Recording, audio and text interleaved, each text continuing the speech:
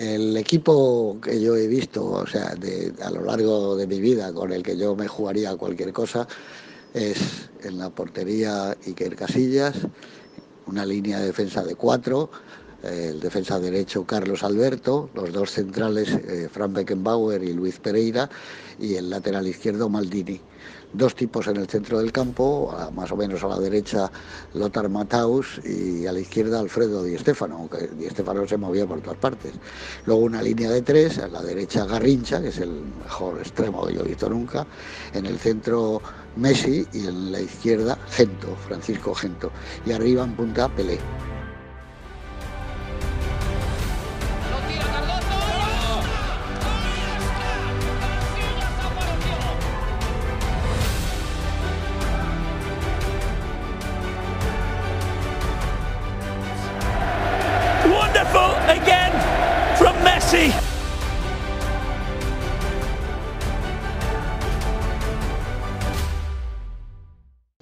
Yo, creo que no tiene ninguna duda en este pequeño comentario que voy a hacer de que eh, Iker Casillas, de lo que yo he visto y como se decía, eh, es el mejor.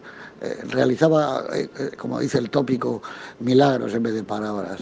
Carlos Alberto, solo por haber metido aquel gol en la final de México 70 e Italia, ya merecería estar. Los dos centrales, tanto Beckenbauer como Luis Pereira, estaban muy por delante de su tiempo, eran muy modernos para su época.